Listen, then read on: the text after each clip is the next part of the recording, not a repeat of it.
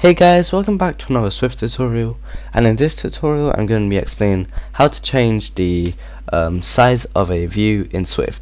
So by view I don't just mean a UI view, I mean any type of view such as image view, label, button, um, anything like that. So I'll just call this change um, image view size since I'll use an image view as an example since it's easier to see. But for my example what I'm going to do is I'm going to have an image view and I'm also going to have a button which will um, change the size of the image view. So if I align the button there and then I give it 2500 a button uh, 25 there and we'll give it height and width constraints. Like so what else does it need? Does it need a horizontal constraint? Yeah okay so now this button can be called change image view size and for each image view I'll set the background color to uh, let's see. I guess I can just set it to um, blue since I never do blue.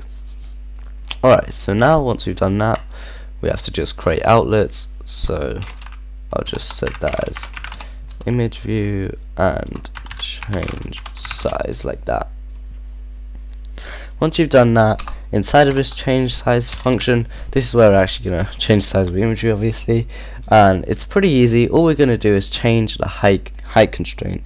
Um, so if I do image view dot height anchor dot constraint is equal to, and that was the wrong uh, thing, but if we just do constraint equal to and then we have to do equal to constraint or is it constant? Yep.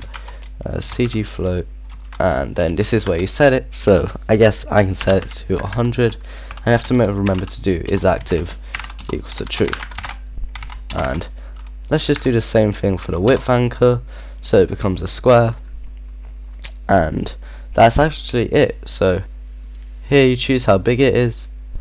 Once you've done that if we click build and we should see that the image view changes when I click the button.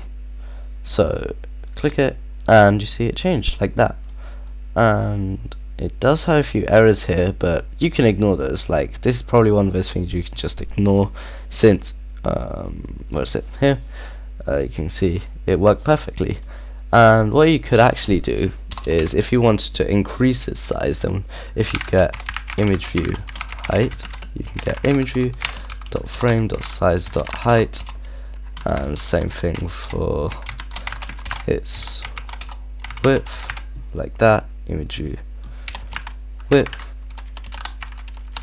You could just get that and then inside of here instead of it being 100 we could do plus like 25 and image view width plus 25 and now what this will do is just increase its width and height rather than just setting it to a constant value.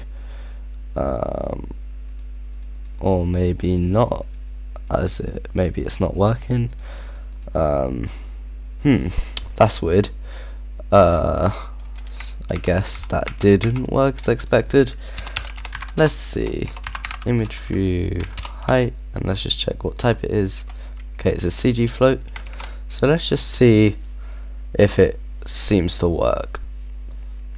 If we click it the first time, we see that it prints 128. Okay, that makes sense. And if we print it again, we see that it prints 100. Okay, so why wasn't this working? Um, maybe if I add 25 there, maybe it will work now. Image view height and let's just try and set the height there first just to see if it will work you know. Uh, so hmm that's very weird because uh, okay 153.0 and if I click it one more time now oh it's still 153.0 so maybe there's a limit. I'm not sure that doesn't seem to be working or maybe you have to do something like cancelling it but I guess this might be a little more tough if you want to actually have a dynamic thing So yeah, it seems to work perfectly if you just want to set it to a fixed number such as 100 or anything else you want. But yeah, so thanks for watching and this is how you change a view's size in Swift. See you guys in the future tutorial. Bye.